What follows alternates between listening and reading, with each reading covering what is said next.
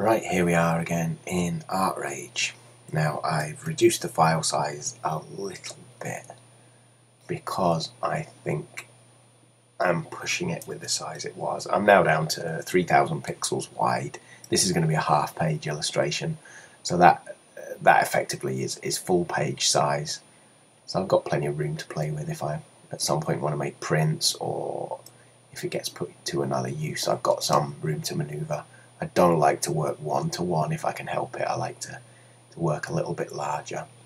So here I am. I'm noodling away. Let's talk about what I'm doing. I'm back in ArtRage. This is pretty much what I would cons consider the underpainting done. I'm going to start on the actual painting, the overpainting. Is that what we call it? So I've got my oil brush.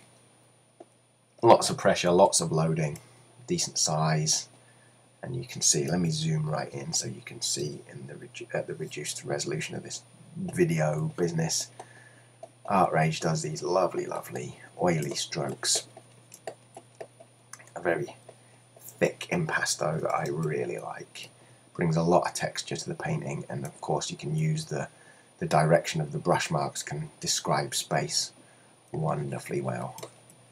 Now I'm putting some on this sort of path area here, but I want to be careful because I don't want the path to be too textured.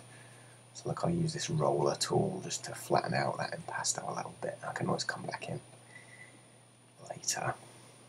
Where I want real heavy impasto is the bits like down here. Where I want it rocky and broken and tusky grass and when you're dealing with something like that, uh, it doesn't suit the way I work or, or my mindset to try and paint in every individual tuft of grass. Some artists do, and they do very well at it, but not me.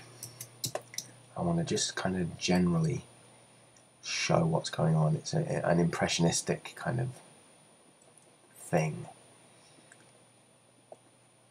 You'll notice I don't really go to my colour picker very much uh, you know, the, the color palette over here, I use the Alt key, which lets me pick a color from underneath. And I want to just, that's what my underpainting is for in a, in a great many ways. I can just pick up the underlying colors and use those with this thick, thick paint. I've had a lot of practice doing this kind of terrain landscape painting so I can fairly whiz through just starting to build up the, the textures and shapes that I want to represent this patch of ground. Excuse me sliding my chair in. There we go. And I'll just keep on painting like this all around the canvas. Just to show you here, I'm, I'm sticking in one spot as sort of demonstration, but I will actually work all over the shop. There we go. This is set as thick and as heavy as ArtRage will do it just now. I might take off a little bit of pressure because that is awfully thick. That's better. I can you get the feel that you're gliding a little bit more with a bit less pressure in your setting. This lets me work a little bit faster.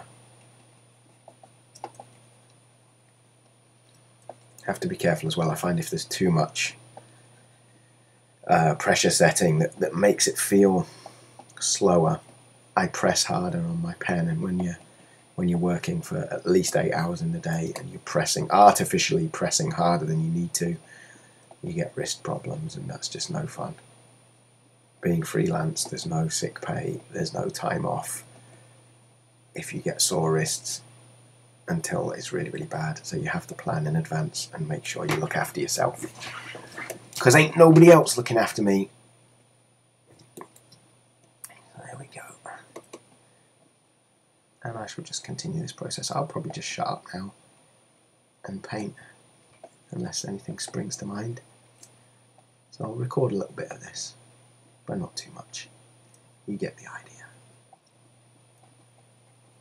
Tell you what, isn't painting just uh, a kind of magical process? As I was painting this kind of path here, and I don't know if you guys can see it, but I really get the feeling of that slightly dipped path, you know, the way the light's hitting it and the, the different colours there. And I just love creating that as I go. And you slowly feel the thing coming to life. Great. Love it. Certainly what I get out of bed in the morning for. I feel very blessed to be able to do this kind of business as a, as a living. Mind you, it's quite funny. You know, I am grateful. I certainly count my blessings. But good grief, as any um, budding artist watching this will know, you work for it. It doesn't come easy having this as your job. You've got to do a lot of tough things, make a lot of sacrifices to get to get to a point where you're doing it as a day job. Without wanting to sound too miserable, there are far, far more serious and uh, far, far worse things to have to do than work your way up as a freelance artist. But it isn't easy and it doesn't fall in your lap, you know.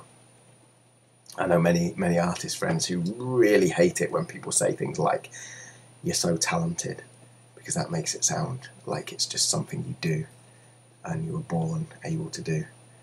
True to a point, but there's a lot of hard work as well. I mean, certainly running the business side of it and keeping on honing your skills to a point where you can earn enough money to be to be doing this full time without the need for another day job is not the most straightforward prospect. But hey, I've enjoyed getting here and I enjoy being where I'm at. There's always a certain dissatisfaction, you always want to do better. Certainly working on this gig, doing the research, looking at what other other artists far greater than I have produced for, for Middle Earth, and that's a very, very sobering thought. And you just hope if you keep working honestly, you'll catch up a little bit of ground to where they are. Angus McBride is my big inspiration. Um, I think he's a fantastic artist. The, the just kind of effortless grace, I guess, his work has always impresses me. And his handling of light and so on is incredible. And of course, I mean, you know, uh, dealing with this project, John Howe is, is an incredible artist. It's been really, really lovely to get to see all his concept work and so on and, and work from it. It's been a real privilege. In some ways, it frightens me a bit, and this is why I'm making these recordings. This could be the best uh, job I ever do.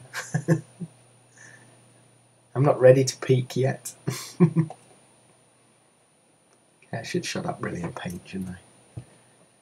Right, well I might leave you guys here and I'll get on and do the do the donkey work of uh, painting this Beorning settlement.